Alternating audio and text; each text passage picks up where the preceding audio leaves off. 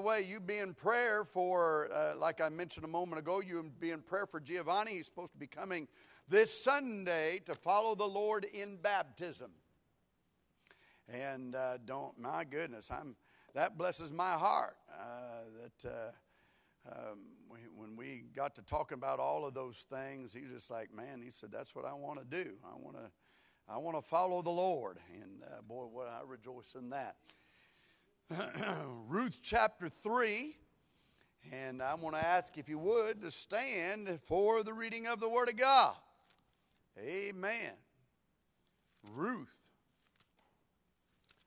Amen. Ruth chapter 3. Boy, it's been a little while since we've been in here, hadn't it? Ruth chapter 3. And uh, we'll see where we go. Verse number 1 Then Naomi, her mother in law, said unto her, My daughter, shall I not seek rest for thee, that it may be well with thee? And now is not Boaz of our kindred with whose maidens thou wast. Behold, he winnoweth barley tonight in the threshing floor. Wash thyself, therefore, and anoint thee, and put thy raiment upon thee, and get thee down to the floor, but make not thyself known unto the man until he shall have done eating and drinking. And it shall be when he lieth down that thou shalt mark the place where he shall lie and thou shalt go in and uncover his feet and lay thee down, and he will tell thee what thou shalt do.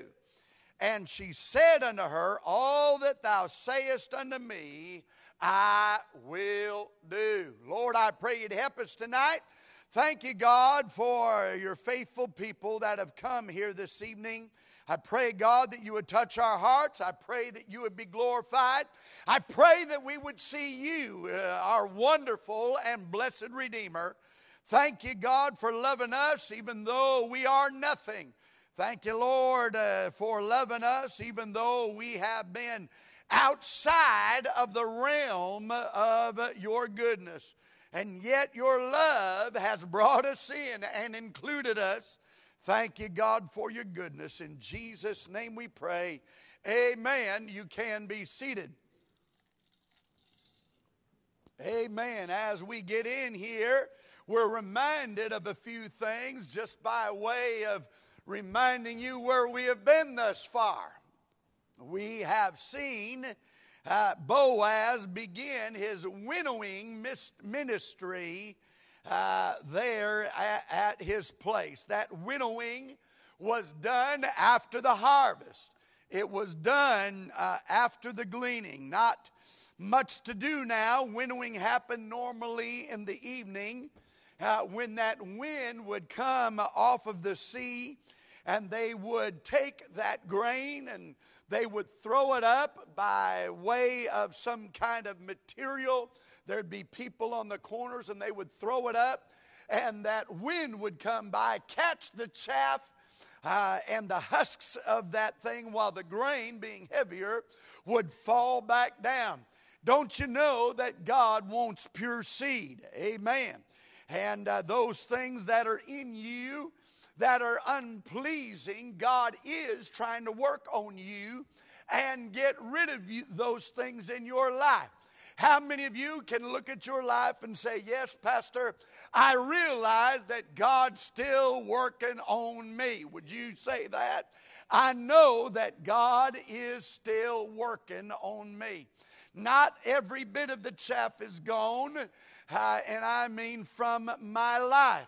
Um, I, I, I, I would be the first to openly admit that I have not yet arrived. I would be the first to admit that I am not perfect. I would be the first to admit that I'm not all that I can be. I'm not all that I should be. I'm just glad I'm not what I used to be. Amen. And uh, nonetheless, we see that God is working in these things. As a matter of fact, we're reminded of some of that in Psalm chapter 1 because he say he talks about the chaff that would be driven away with the wind. We're also reminded of that, that even Jesus mentioned that in the book of Matthew. And he said, uh, where it talks about that he carries his fan with him.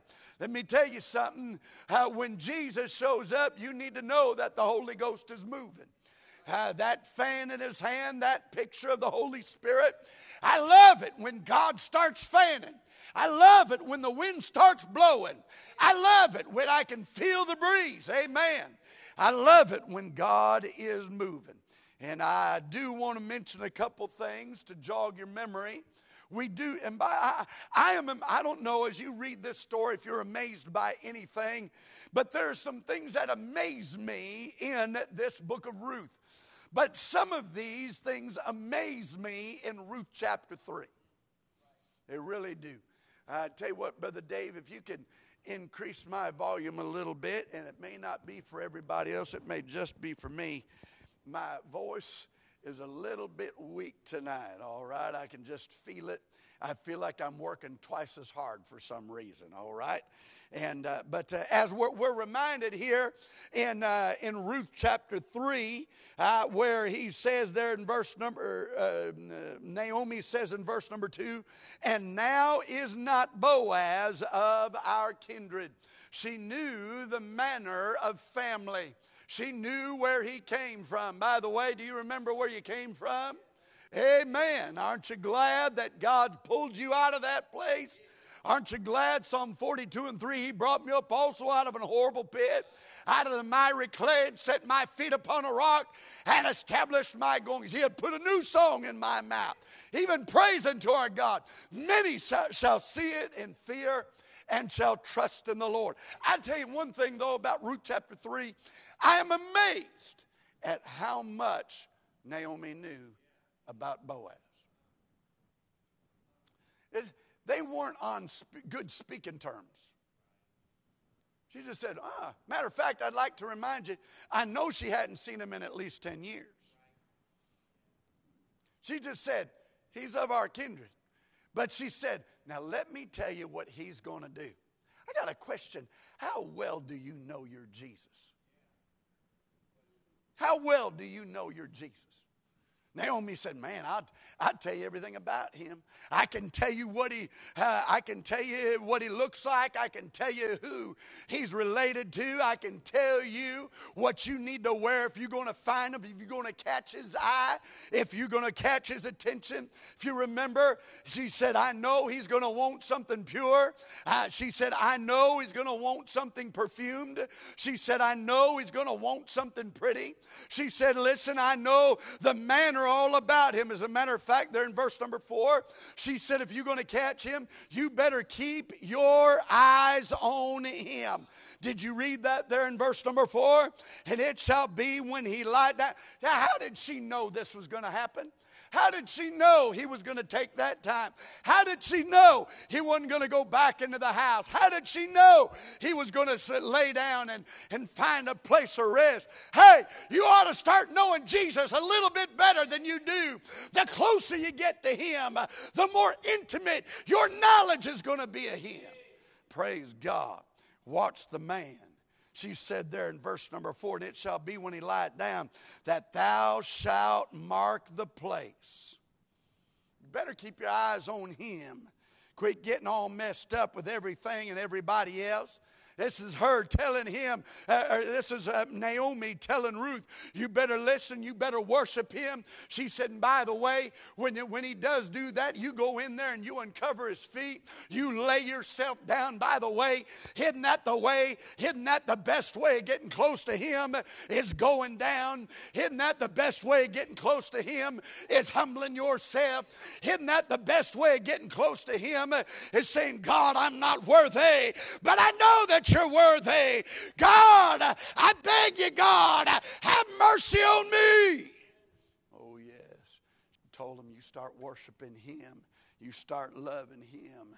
And she said, Then you're going to find out you're going to be covered by his glory work because you're covered by his glory work. Come on now, somebody say amen. Uh, we have that picture because she laid crossways at his feet, giving that symbol of the cross. Woo!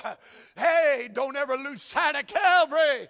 Don't ever forget what Jesus has done for you. Don't ever forget uh, the way and the time and, the, and what he's done to bring you unto himself. Praise God. But now we're going to look at a couple verses yet again. And I want you to know this. I want you to write this down. That she knew the manner of the fellow. I want to read verse 4, but then we're going to read verses 6 and 7 together too. And it shall be when he lieth down, thou shalt mark the place where he shall lie. And thou shalt go in and uncover his feet and lay thee down. By the way, if you remember, last time we were in here, we, we mentioned to you how that every servant had the right to be covered, uh, uh, to, to be covered by that which covered the master. That's why she was able to do that. Thou shalt go in and uncover his feet and lay thee down, and he will tell thee what thou shalt do. Look at verse number six. And she went down under the floor and did according to all that her mother in law bade her. And when Boaz had eaten and drunk and his heart was merry, he went to lie down at the end of the heap of corn. And she came softly and uncovered his feet and laid her down. You know, God really is not that hard to understand. Is everybody all right? Boy, if I just knew what God was thinking, really? You don't know what God's thinking? I mean, I want you to really, I want you to really contemplate that statement. You don't know what God's thinking. I understand that God is immense. I understand that God is infinite. I understand He is omnipotent. He is omniscient. He is omnipresent. I understand that His ways are above our ways. I understand that His thoughts are above our thoughts. But really, you don't know what His thoughts are centered upon. His thoughts are centered upon the field, His thoughts are centered upon His house, His thoughts are centered upon upon the fruit. His thoughts are centered upon you. His thoughts are only upon you and the ministry that He has to the world. It's not that hard to understand. It's not like God in all of this is trying to be unknown. God has given us all this so that you can know. He's not trying. There are many things that are mysteries, but that in itself is not a mystery of God. God loves you. God loves sinful man. God loved him so much that he died for him. What's so hard to understand about that? This is the problem, though, with the people that spoke to Paul on Mars Hill. And even Paul said that I may know him and the power of his suffering. Let me tell you something. God wants you to know Him. The book of Psalms says it like this Be still and know that I am God. I want to show you a few things here. Go back, if you would, to Ruth chapter 2. Ruth chapter 2. I've already mentioned these things to you. I just want you to see them for yourself. Ruth chapter 2, and look, if you would, at verse number 4. we see and behold, Boaz came from Bethlehem and as he did, this is where he was coming. He was coming and he, he was there at the field. And he said unto the reapers, The Lord be with you. And they answered him, The Lord bless thee.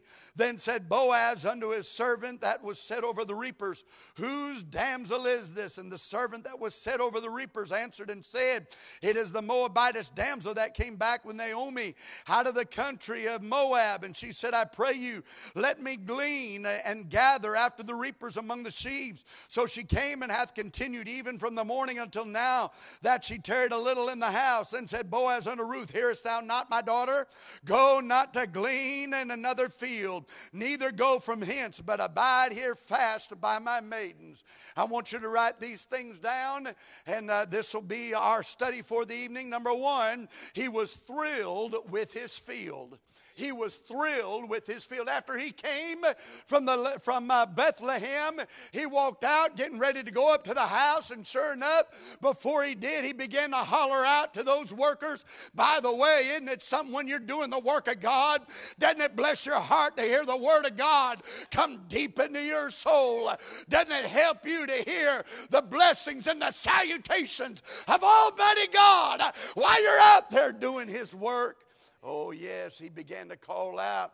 He said, Hey, he said, uh, Lord bless you. And they would cry out, The Lord bless thee. Sure enough, he said to his, his unnamed servant here, He said, Who's that over there? He knew exactly what was going on in his field. He knew everybody that was out there. Somebody say amen.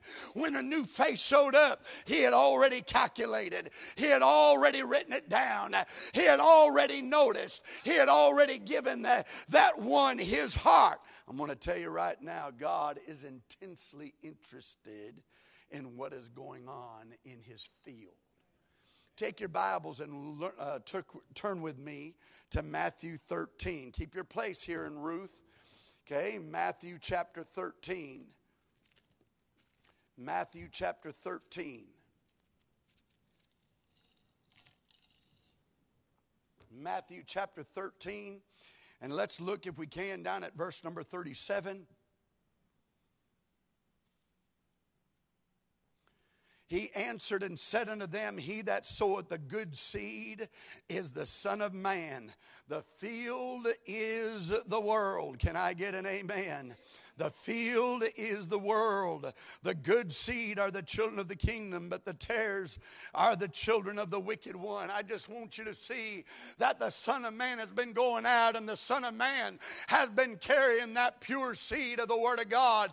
And the Son of Man has been faithful, and the Son of Man has been sowing, and the Son of Man has been giving it out. Where? In the field that He's been working. He's been working and laboring in the field, and the field is the world. You need to know, friend, that God is working the world.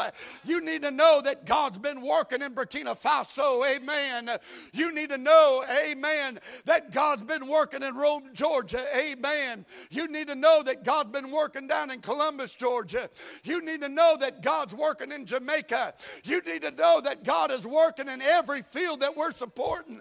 That God is doing a work and God is intensely interested interested in what's happening out there in his fields. Hmm. Let's go back, if we can, to Ruth chapter 3. Not only do we see that he's thrilled with his field, I want to point something else out to you here, if we can. Ruth chapter 3, and look, if you would, at verse 6. says there, matter of fact, Look at verse number three. Wash thyself therefore and anoint thee and put thy raiment upon thee and get thee down to the floor. But make not thyself known. Verse six. And she went down unto the floor and did according to all that her mother in law bade her. And the second thing, we see that he is thrilled with his floor. Have you thought about all the things that are going on on the floor? What is the floor? Ah, let me just go ahead and give it to you. That's the place that God enjoys seeing the fruit of His work. I don't know if you caught or not, but Sunday we had some people that we hadn't seen in a little while as far as people that recently gotten saved. Come on now. I don't know about you, but that blessed my heart. I've been praying for them. I've been praying, God, I, I don't know where they're at. God, would you bring them back? And my goodness, blessed and touched my heart to see them here on Sunday. Uh, that's answered prayer for me. I'm telling you, though, that God is thrilled with the floor. This is the place that God is, uh, comes to see the fruit of his work. This is the place of his profit. God is interested in what is going on in his house. Amen. Let me tell you something. Everything that's happening, it doesn't matter if we're having an altar call. It doesn't matter like a, a tonight when we were all came down here and we offered to God our prayer requests and we were lifting up people. We're lifting up Miss Carol and Brother Bud and we're lifting up Cindy and we're lifting up uh, Miss Judy and uh, we're lifting up uh, the, the, those friends of, of Miss Judy uh, Wood and, and we're lifting up so many others that are struggling physically and we're lifting up up everybody that's on our prayer list. And let me tell you, God is interested in that. But you also need to know that God's interested in the Giovannis that just come at the end of an afternoon service. We wouldn't, you realize that only could be done in the mind of God. We wouldn't have been here any other time. And he thought he was looking for God. He had no idea that God was looking for him. You want to know where God found him? Miss Mary, God found him in his floor. God found him right here where he's working. Let me tell you something. God's working on you. God's working on you tonight. God hadn't forgotten about you and where you're at and what you're doing. He's not forgotten about your situation. He's not forgotten about your struggles. He's not forgotten about anything that's happening in your life. What's He doing? He's interested in what's going on in the floor. What's the floor? That's the place that's going to contain all of His fruit. Mm. By the way, God's still working on you. You ever heard that song? He's still working on me to make me what I ought to be. Took him just a week to make the moon and the stars, the sun and the earth, Jupiter and Mars.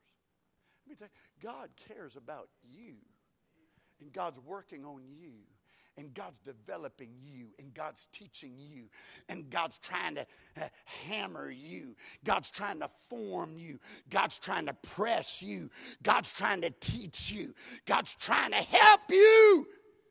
If you would listen and give in to Him and His will for your life, there ain't no other way. And sure, it's not always easy, but it's always best. It's always best. Amen. By the way, I tell you this, I just, I just want to say it blesses my heart to know when my Boaz comes down in this floor.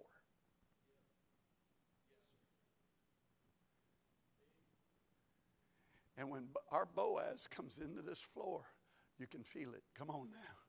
You can feel it. You know that things are different. By the way, they would come in and they would stay in their floor. One of the reasons why was to keep uh, the thieves away. Because if there was no one there, that um, there, if there was no one there, the thieves could come in easily, and they could just, um, even if they didn't get it all, they could take quite a bit of it before anybody would anybody would even know what was going on. You say, well, why couldn't he hire somebody to do it? Well, that's easy because nobody cared about it like he did. you know, it's interesting about the Great Wall of China, biggest man made structure in the world. You know, that thing has only been breached a few times. You all know what happened? They didn't really breach it, somebody opened the gate. I'm going to tell you something. You need to know that the reason why God is interested with what's happening here is because it's His. And there's nobody that cares about it like He does. But to think to come into church like this is all our thing and it's not God's thing, that breathes rebellion into His face. It hurts the, the heart and the mind of God. And I'm here to tell you there ain't nobody cares about it like He does. God has a vested interest what's going on here, even right now. Even when the preacher turns red in the face and is hollering and is spitting and all that kind of stuff, he's intensely interested in what's happening here. He's very interested in the state of your heart. He's very interested, not just, not just eh, eh, eh, as to whether or not you're attentive, but he's more interested in your attitude. Come on now, is everybody with me? What's your attitude towards the Lord? What's your motives toward the Lord? What's your ministry? By the way, I hope you didn't come just to minister to one another tonight. I hope you came to minister to the Lord. You realize that's Bible, by the way. And in ministering to Him, we do minister to others. But my ministry is to Him. Not only do we see that we've got a master that's thrilled with his field, we've got a master that's thrilled with his floor. There's one more thing he's interested in. We have a master that's thrilled with his fruit. Look at what it says here. Go back, Ruth chapter 3. Look, if you would, at verse number 6, verse number 7. And when Boaz had eaten and drunk and his heart was merry, he went to lie down at the end of the heap of corn. By the way, isn't that a beautiful picture? I love that. It's a, I don't know, that wouldn't be my first choice to go and lay down. Uh, I'd be looking for something a little bit softer. But I'm going to tell you right now, he's very interested in the fruit that he's been bringing in. Matter of fact, I'll even go so far as to say this that's where he wants to rest. I hope you get in the picture here. I said that's where he wants to rest. That's where he wants to be in full repose. That's where he just wants to lay down, throw his hands back, get himself immersed in the fruit of his own field, enjoy the feel of the fruit amongst himself. Oh, such peace, such joy, such hope, such wonder, because that is what he has been laboring for. That's what he's been ministering for. That's what his heart has been set upon. Matter of fact, let's look at this very quickly. This is what was going on. The Bible tells us that it was the time of barley harvest. You see, I tell you, this tells me a few things. I want you to write some of this down. Number one, it tells me about the determination of the seasons. You realize that God will bring seasons into your life? Amen. Matter of fact, the Bible said, turn to, turn to Psalm 1 if you would. Uh, while you're turning there, I want to give you this. The Bible says in Second Corinthians chapter 6 and verse 2, behold, now is the accepted time. Now is the day of salvation. Say, this is your season. This is your chance. Not everybody has the same chance. Everybody might have a season, but everybody's season is not the same. Let me tell you something. In other words, right now is not the time to be going outside and be looking for strawberries. Is everybody all right? Good luck with that one. You might find them up in Alaska or something, but you ain't finding any around here. Not anything that's growing. Somebody help me. Amen. Everything has a season. Look, if you would, at Psalm 1 uh, blessed is the man that walketh not in the counsel of the ungodly, nor standeth in the way of sinners, nor sitteth in the seat of the scornful. But his delight is in the law of the Lord, and in his law doth he meditate day and night. And he shall be like a tree planted by the rivers of water, that bringeth forth his fruit in his season. God has a season for you. As a matter of fact, I'll tell you this one thing that I've noticed over this past year and three months or whatever that I've been here is that we do have seasons here. I'm not talking about outside, I'm talking about our church. Our church has seasons. There's seasons that our church is going through. There's going to be seasons where our church is more centered on growing. There's seasons where our church is more centered on plowing. Sorry. There's, center, there's seasons that our church is more centered on sowing. There's seasons that our church is more centered on fruit. Why? Because everything is in a season. Matter of fact, when God created the earth, and then as even uh, after the flood, uh, God said that uh, all of the seasons that they would not cease. You need to know that God has a season. What season are you in right now?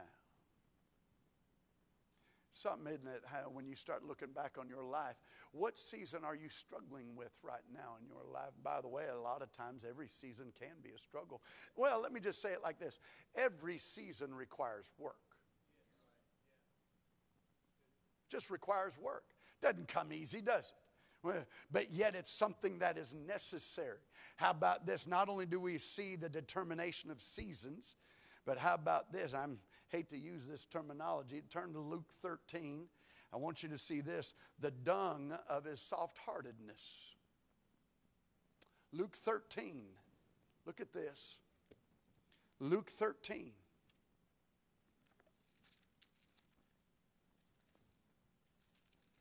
Luke 13. Luke 13, if you look, if you would, please, down at verse number 8. Well, let's, let's start reading in verse number six. He spake also this parable A certain man had a fig tree planted in his vineyard, and he came and sought fruit thereon and found none. Then said he unto the dresser of his vineyard, Behold, these three years I come seeking fruit on this fig tree and find none. Cut it down. Why cumbereth it the ground? And he answering said unto him, Lord, let it alone this year also, till I shall dig about it and dung it. And if it bear fruit, well, and if not, then after thou shalt cut it down down. Let me just say it like this because there's things that God is going to do in your life to make you bear fruit. And I'm not trying to be inappropriate, I'm just trying to be Bible. But I can't tell you how many times I've talked to people in my life and they, and they in, a, in a very inappropriate way, they'll say, Pastor, I'm just dealing with a lot of stuff in my life. Why do you think that is? Could it be, could it be that God is being merciful to you to cause you to bear fruit? I don't know. I'm just got to deal with a whole lot of mess. Excuse me. Sounds to me like he's been dealing a whole lot with your mess, and he's trying to make you bring forth fruit.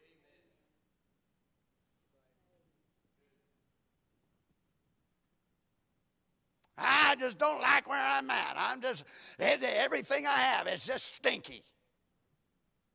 Hmm. All I know is this. You ought to thank God for the mercy of his life, or the mercy of, of his heart, how that he is extending to you one last opportunity to bear fruit. This is your chance. You better get it right. It's a funny thing. Matter of fact, turn to Philippians chapter 3. Philippians chapter 3. Philippians chapter 3. Look at verse number 8. Uh, verse number seven.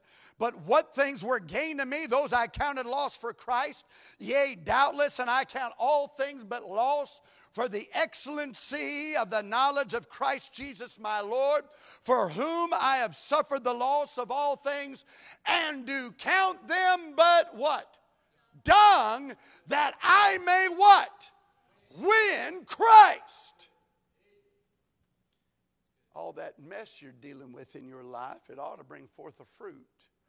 And it ought to bring forth the point where you are going to win Him. Come on now. Is everybody all right?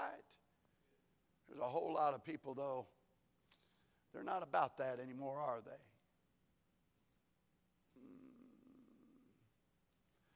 God bringing that dung in your life is important to you.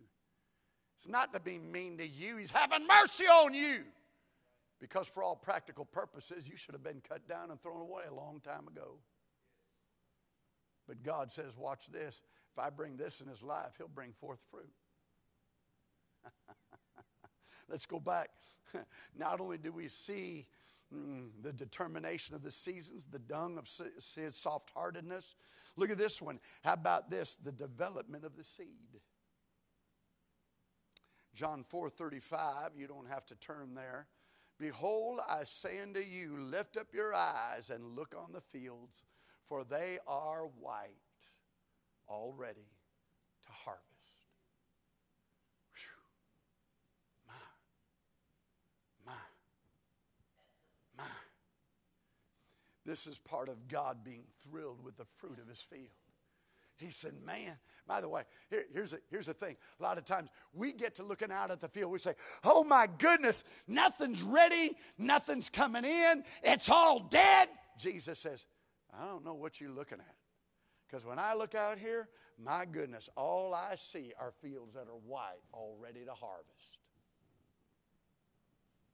That sounds like someone that's thrilled with what's happening in his field. Mm. We'll be done here shortly. How about this one? How about the discipleship of his produce? Look at this. John 15. Turn to it quickly. John 15. John 15.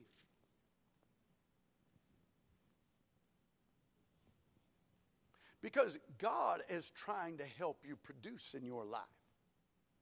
You know, there's a whole lot of people, they're not producing nothing. As a matter of fact, well, we'll get to that here in just a moment. No, we're not. Uh, Let's look at this. Look at this. Verse number eight. Herein is my Father glorified, that ye what? Bear what? Much fruit. So shall ye be what? My disciples. Look at verse number 16. Ye have not chosen me, but I have chosen you and ordained you that you should go forth, uh, that you should go and bring forth what? Fruit. And that your fruit should what? Remain, that whatsoever ye shall ask of the Father in my name, he may give it you. Turn to Galatians chapter 5. We're almost done. Let's look at this here. Galatians chapter 5. Galatians chapter 5. A lot of times we turn down to verse number 22 but of the Spirit is love, joy, peace. Uh, before we do that, can we back up just a few verses here? Look, if you would, uh, here at verse number 18. But if he be led of the Spirit, you're not under the law. Now, the works of the flesh are these, are manifest, which are these adultery, fornication, uncleanness, lasciviousness, idolatry witchcraft, hatred, variance, emulations, wrath, strife, seditions, heresies, envyings, mur- uh, murders, drunkenness, revelings, and such like. Of the which I tell you before, as I have also told you in time past, that they which do such things shall not inherit the kingdom of God. Let me tell you something, there's a whole lot of people. By the way, you're bearing fruit to something tonight.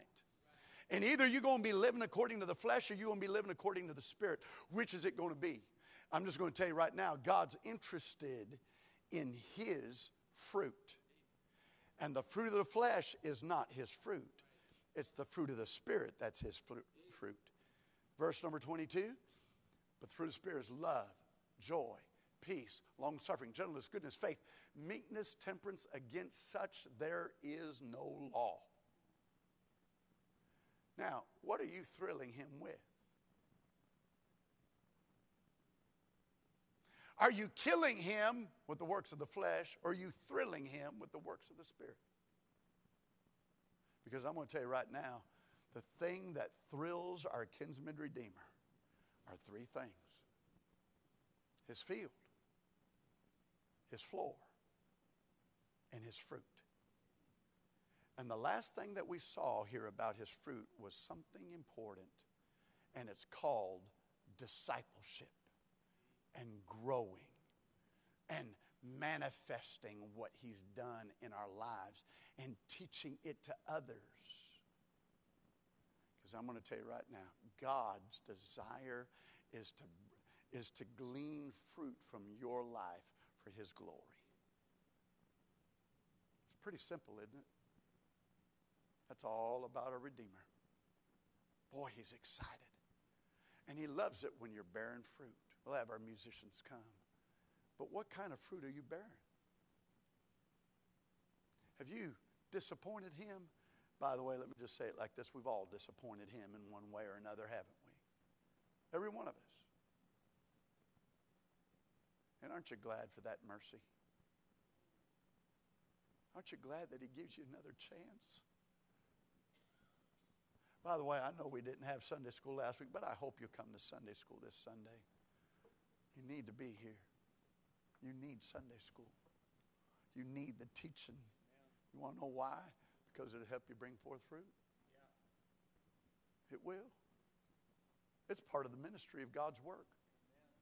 It's part of the gift of God's church is to teach the word. You come and it'll help you grow. Let's all stand, Lord God. We love you. Thank you, Lord, for your word. I pray, God, that you would help us tonight, that you would speak to our hearts. And Lord, I pray that this church would be a place that thrills you. I pray this floor would excite you. I pray that these here that you've been winnowing that you've been beating, that you've been tearing off and pulling off the chaff that's resting in our life. I pray, God, that you would be thrilled with the fruit of our lives, that we would bring glory unto you. Help us tonight, we pray. In Jesus' name, as they sing and play, you come tonight. Would you let God have his way? Don't wait. If God spoke to your heart, you come. Come on. Come on. You obey the Lord tonight.